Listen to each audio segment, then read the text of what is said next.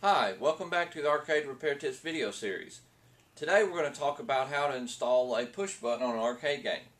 As you can see we have here one of our customers, a Miss Pac-Man Galaga Reunion game. Well their motherboard went out and they wanted to replace it with a 60 in 1. Well the 60 in 1 has some games that uses an extra button that's currently not on its control panel.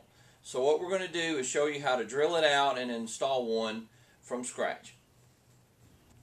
The first thing we're going to talk about is the types of tools that we need to do this project. You just need a couple, and the main one is a 1 and 1 8 hole saw bit that you can find at most any hardware store. The one that we chose was uh, the Makita brand because it's not only a metal, but it's also a wood, and it can do both. And as we talked about before, some control panels are made of wood, some are made of metal this really uh, is a very useful one, and we've had it for two or three years at least. And uh, as you can see, most of the blue paint has worn off of it, but it still cuts really good. And for us to say we've used it for a few years, with all the holes that we've drilled over the last couple of years, this is a very good tool. Um, we, I think these are about 10 bucks on Amazon, and then you'll need this little auger or this thing that goes with it that attaches to it and uh, so that we can put it into our drill. But so we need this. You're going to need a drill. You also need to do some measuring. You know, don't just eyeball it. Go ahead and get your tape measure out and a pen or, or something to mark it with. So the first thing we're going to do is measure. Now I've taken the liberty of making a couple marks here. First thing I did was I marked the center, or what looked like the center to me, of a button that's already there so that we could measure across from it also, we notice that the control panel is 7 inches, and right in the center of that button is 3.5 inches. So over here, I went over 3.5 inches. Also tried to space in between, and that's kind of to your own taste. Uh, but you know, you need at least probably a, a pinky's width, I would say, in between them. Maybe, you know, you maybe a finger's width. That'll help you some, just because you don't want your buttons right on top of one another anyway, now that we've uh, measured and made a mark, that mark right there is for the drill bit. As you can see, is you first it drills a hole right here. Then as it goes through that hole, so that bit will line up right with that hole on that mark. And then the round part of it here will cut into the control panel. You might notice that for today we're using a corded drill. A lot of times we use, a, a, most of the time we don't use a corded drill, but you're going to need the extra power and everything that this provides. So now all we're going to do is line up on our on our dot. First thing we're going to do is drill right through here with our metal bit. Make sure your drill's going in the right direction and you're on the spot.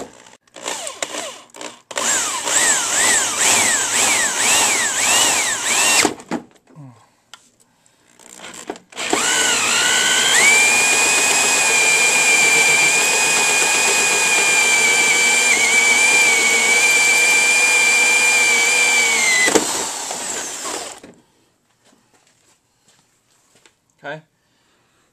Be very careful because this will be extremely hot right now. So be careful just touching the end or this metal piece that's currently in there. Even if it's wood, this will be really hot. Let's let it cool down. Now you might have noticed when the control panel first hit and started to dig in, it kind of jerked. I was prepared for that. I knew it was coming and I really was holding on tight. Also, Jonathan was kind of helping hold the control panel. So you might use a buddy system or something there. Be careful because it does it that first cut. It does kind of try to jerk on you a little bit. Now that it's cooled off a little, you notice that there's slits right here on the side. That's a good place for a screwdriver or something, and you can try to pop out that uh, metal filling that came out of there. Be careful, like I said, this is still, even after a couple minutes, pretty hot. Another safety deal is also remember that there are a lot of little metal burrs and shavings and stuff. And you might want to wear some safety glasses when you do this. Okay, now we're going to install just a regular push button. This one's green to kind of go along with this red. Just a couple parts to it. You have the switch, which you're going to need to take out until the end.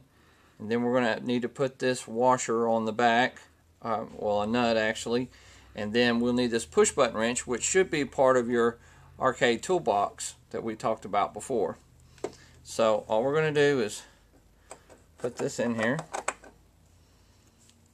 flip the control panel over and screw down this button. Now another thing, just a real quick tip here, is notice the position of this, how you want that button or the wires to come through. You don't want to get this, turn it in such a way that it's hitting a bunch of other stuff like that would be. What I want to do is either go the same way that it is, which I kind of like, stuff to be uniform and to be all the same way or at least out of the way at, at, an angle or something but I'll keep it the same way that that red one is so I'm going to get this as tight as I can by hand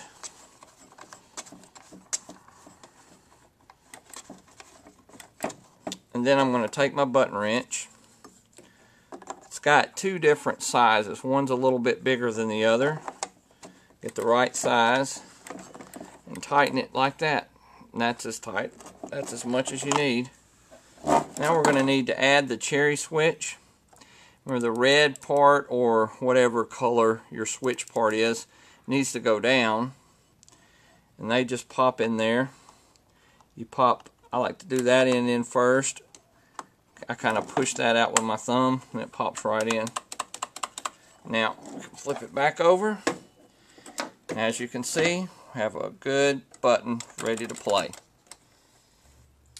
Well, now you can see it back on the game. It looks really good on here, and now we have an extra button that we can use on our 60 in 1 games.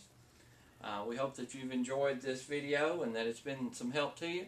If you have any questions or comments, please email or, or call us or write us or contact us.